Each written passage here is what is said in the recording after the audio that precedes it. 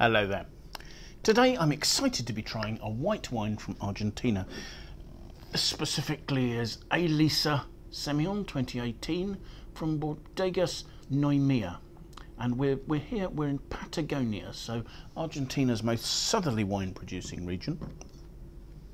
And the project here started in 2001 when uh, two people, somebody called Hans Vinding-Diers, a South African born Danish winemaker, teamed up with, with Comtesse Mia Marone Cinzano to try and revitalise some um, vineyards originally planted here in 1932. These were Malbec vineyards. Now, Hans Vinding-Diers is the son of Peter Vinding-Diers, who has a huge reputation as a winemaker. First of all, as manager of Chateau Rahoul in, in Bordeaux, uh, subsequently for winemaking in Stellenbosch. He was a partner in the rejuvenation of the Royal Tokaji Wine Company and, and has now in retirement, as it were, moved down to Sicily and is revitalising a, a, wine estate there. So Hans Vinding-Diers is, is now in total control of, of this estate. Now the conditions in Patagonia, you have vineyards with alluvial soils. They're around the Rio Negro River, which provides irrigation, which prevents this area becoming desert, because this is a cool, dry area with constant strong winds which can make it challenging to grow grapes, but does mean that there's very little disease risk from fungal diseases because there's very little humidity. And they have a, a, a system of canals here, about a century old or slightly more, whereby the, the vineyards can be flooded up to four times a year using these, these channels, drawing water from the Rio Negro River. This particular wine, A Lisa, and there's a red version as well, is made from fruit that's bought from growers in the area. Evidently, the Semillon that goes into this is from vines that are about 40 years old. So there's a wonderful concentration. And you get naturally quite low yields from these sort of alluvial free draining soils and the old vines and the naturally sort of cool, dry conditions. This comes from, I believe I'm correct, and I said the Mainque area. And actually, the bodega has uh, an agricultural team that will go out and will work with the growers to make sure the fruit reaches the quality and the style which they're looking for. I know nothing about the winemaking in this particular wine. And I have to say, at 2018, I'm slightly dubious as to what sort of condition this is going to be in, but we'll, we'll see.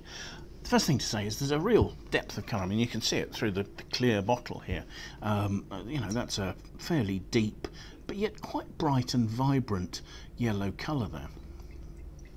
The wine has 13% alcohol it's not particularly forming tears on the side of the glass there.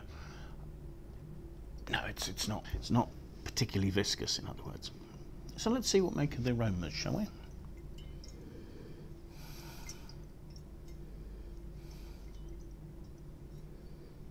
The aromas have a, a, sort of a rich stone fruit note, and, and there seems to be the first hint of sort of creaminess, but at the same time that's all overlaid by a sort of a note of gunpowder of dry powdery stone so almost sort of uh, like like sort of firework residue or uh, hot dry granite or something like that.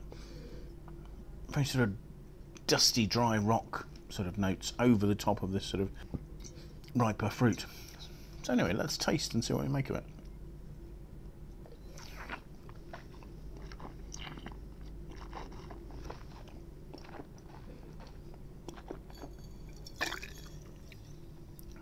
The wine's dry, it's a mid-weight. There's a nice balanced freshness. There's a sort of a lemony crispness on the front palate.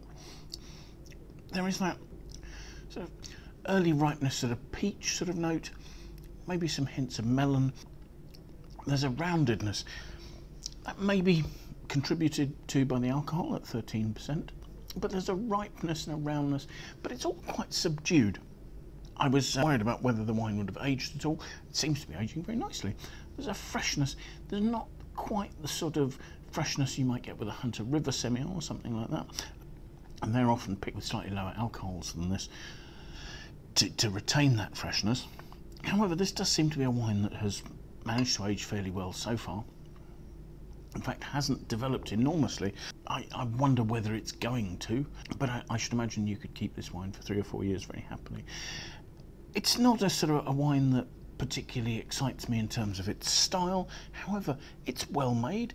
The flavours are lasting well. There's a balance, the alcohol's in balance, the acidity is sufficient to lift the fruit.